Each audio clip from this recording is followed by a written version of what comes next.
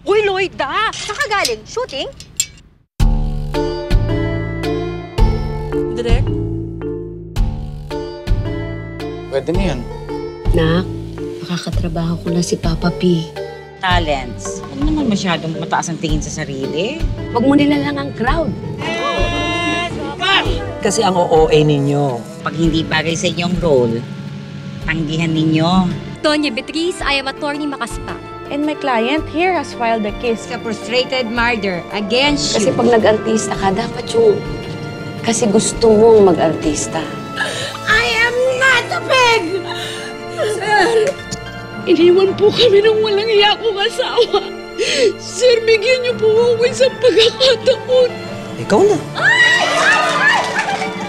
Kalain mo, iniidolo ko noon, ngayon makaka-eksena ko.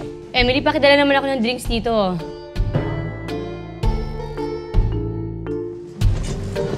Kidam, kita tayo. Miss Yula, Miss Yula.